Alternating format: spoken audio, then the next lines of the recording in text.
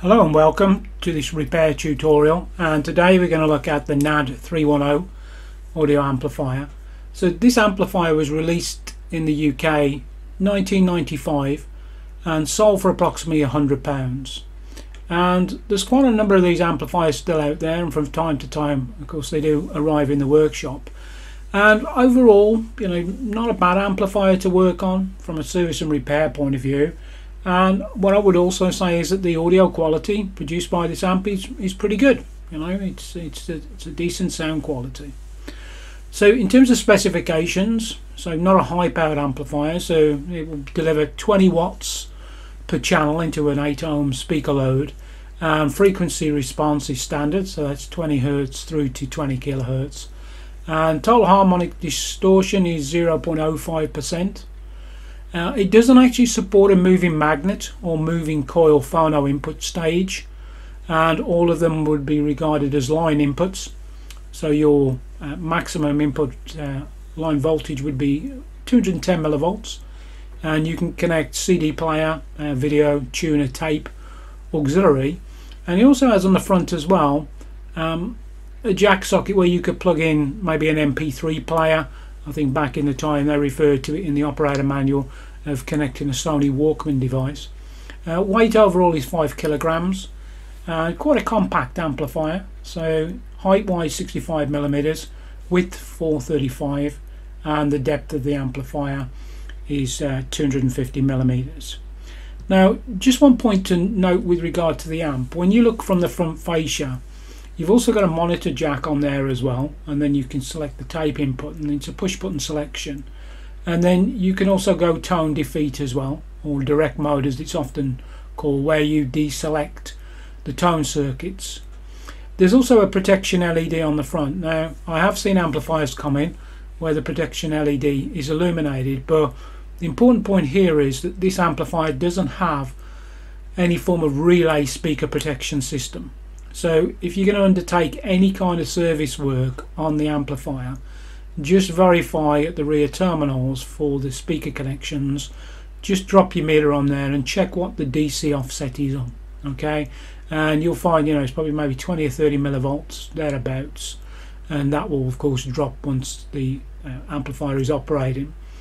But if it's going to be anything higher than that, remember the amplifier is not going to automatically shut down or disconnect your speakers. So don't just connect them up and then just make a test. And the other thing as well because it's you know an entry level amplifier there's no headphones jack on this amp alright so uh, again I can't sort of not connect the speakers and then connect the headphones then to just do a, a functional test. So most importantly just do a DC offset check on on the rear of the amp. So what was the fault with this amplifier? Well it came in with intermittent loss of sound on the left channel and as the video uh, shows you there are other issues as well which some are age related but also some are directly linked to the design of the amplifier stroke the manufacture of the amplifier. So when I first open it up first thing of course is just to do a visual inspection. And you can see that this this brown glue and I've referred to this multiple times both in the tutorial videos and then also in the video backdrops when I do a technical description what had not happened here is this brown glue that they've put onto some of the components just to provide some form of mechanical uh, additional strength hadn't fully dried out. So there was still some elasticity to it. So it hadn't gone fully conductive or fully corrosive but it's on multiple parts of the amp. And what they've done is they put this brown glue around some of the multi ribbon cables where it connects to the tone board. So you just got to make some time on that right? So just work your way through. Often I will always tell you just to wear some form of eye protection maybe a plastic scraping tool and just remove all of that brown glue. And some of this glue was you know connecting resistor legs. It was around a couple of the test points where you measure the um, bias current then for the output transistors. So once all of that had then been removed I'm into a phase where I'm just going to start to make some tests. Now, when you just put a small amount of pressure onto the circuit board, the audio on the left channel would return. And I totally understand what has happened. That when I came to remove the plastic fascia, you've got to remove the front control knobs and then located behind on the bass control treble and the uh, volume control are just locking nuts but the one which was on the main volume control potentiometer it was stripped. So what had happened the user had probably maybe moved the volume control thinking that that's actually what the problem was and, and actually wasn't the problem at all. And eventually probably tried to tighten it up and then just stripped it.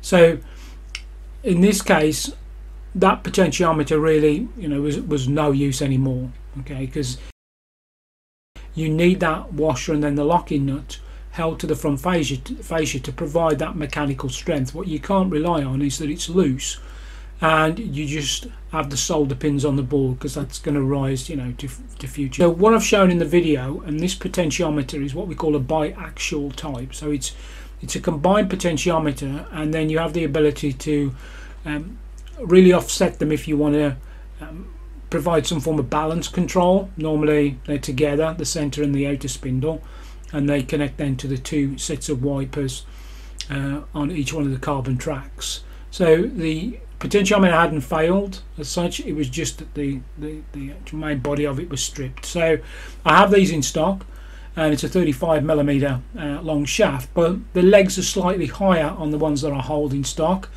um, and this is probably an original OEM type design where the manufacturer had you know thousands of these produced uh, for the NAD 3 310 so what I have to do is I have to cut off the longer legs and then what I use then are some off-cut component leads and I just make a small hook wrap it around and then I can just feed it through the hole on the legs and then just clamp it in position and then it's a case then of soldering each one of those. And the gauge wire is reasonably thick. It's not, not it's not coming like from a quarter watt resistor you know it's quite substantial. And that enabled me then to solder directly into the board nice and flush and it aligned then with the fascia. And that was you know a good solid repair. And of course the potentiometer isn't stripped so when I came to reassemble I could just lock that into position then. So to focus on the issue what I found was and I've seen this problem uh, a number of times before when you remove the front fascia and then you remove all of the screws which are held to the bottom of the case and go through into the heatsink when you look from the top of the board at the left towards the heatsink and as shown in the video there is a screw which just goes through a fibre washer and that connects the heatsink then to the main board.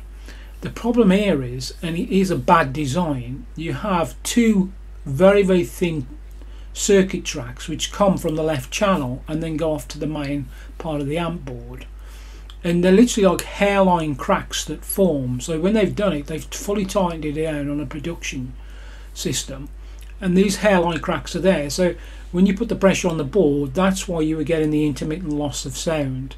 And what I'm showing, and again, I've said this in terms of insight before, if you have broken tracks, don't just rely on scraping off the the coating which covers the copper track and then just flow some solder on there. You know, solder is not going to give you the mechanical strength that you need. So what I do here is I just use some half cut component leads. I have them, you know, in a small bag, and solder them directly across the crack. Okay, and it's showing three of them, but only two of them are actual circuit tracks. The other one is a circuit track, but it doesn't connect to anything else. Then, and that provides you with a very good mechanical um, repair with good quality solder. And it's not you know, lead free for this amplifier. It's 6040 uh, tin lead solder. So, uh, sorry lead tin solder. And once that was done it's just a case of just using flux remover to, to get rid of all of that. Now I also show the underside of the board. And this is common with the NAD 310 there are different power components and you need to reflow all of the dry jump on the board. So don't think that you know there's maybe one or two.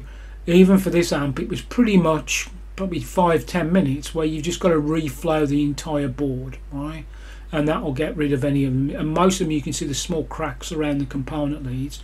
So once that was all done I also look at the small power supply and what you have on there is just the, the bridge rectifiers and the large smoothing capacitors. Now it is not uncommon on the NAD 310 to find these have dried out and you may need to replace them. And it's dead telltale sign sort of bulging on the top. And when you remove them if you sort of give them a shake they're completely dried and they, they just literally they rattle.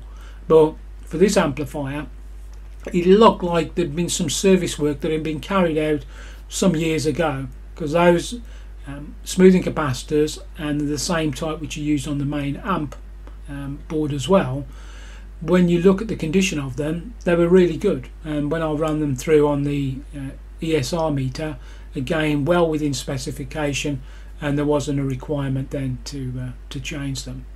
Um, I'm also showing the tone control board. So when you just sort of take it apart you know just do a complete strip down on it far better than trying to work and, and trying to get access to these. So once that was out I could then of course remove the brown glue because it's on both sides of these multi-ribbon cables. And then what I was also able to do then was just to clean the switches and the potentiometers with uh, deoxit and uh, that ensured you know noise free operation. And then what I'm also showing in the video is the schematic so I show the left channel circuit diagram and this is really old school type of service manual. And it's really good because what they've shown you are all the different voltages at each of the test points. So when you look at the transistors it details what will be the base collector and emitter voltages and then the same also because it has a FET in the output stage. Again I can see you know the gate and, and, and drain terminals. And I'm pointing there to a 20 kA potentiometer and that's the volume control um, when you look at it it has four leads on there or four legs now this is very common if it has a loudness switch but this amplifier doesn't have a loudness switch but it is a, uh, a four pin device. So you would have the wiper either side of the resistive track and then the fourth one is a tapping off the resistive track and I covered this in the tutorial for the potentiometers. And then the final stage here was just to do an overall clean um, there's a lot of dust and dirt for this amplifier, which you know is normal because you know the age of the amplifier. So just a complete clean. Sometimes people sort of ask the question, you know, what do you sort of use in that case? Well, if you just get a long head brush, quite stiff brush, you can brush out the majority of the dust and dirt, and then if you don't have access to a compressed air line, you can buy canisters that you use for cleaning keyboards, and you can use you know one of those then just to clean it all out. And then the final thing was just to just check the um, the bias for each channel. No adjustment required. And then as I said at the beginning of the tutorial I also check the DC offset and again no issue at all. Everything was fine and then it was just a case of putting the amplifier then on a functional test. And it ran for about two hours in total. And after that operational time you know I'm back in there um, just making sure you know there's no increase on the DC offset which there wasn't and that the bias and everything else was was like okay. So yeah not a bad repair overall. So just to sort of recap if you do get intermittent loss of sound on a NAD 310 you may feel that it's the volume control and sometimes it may be but as the video is showing you look at this fixing screw where the heatsink is connecting to the main board. It's the one where you have the fiber washer underneath. And just check underneath there and in the most cases you'll find that there's small hairline cracks across two of the very very thin circuit tracks. And just scrape away the protective coating access the copper and then put in place then some repair solder links and uh, you should be good to go then. Alright so that brings us to the end of this tutorial. So as always I thank you for uh, stopping by and for listening and uh, until the next time I wish you well. Thanks very much. Cheers. Bye bye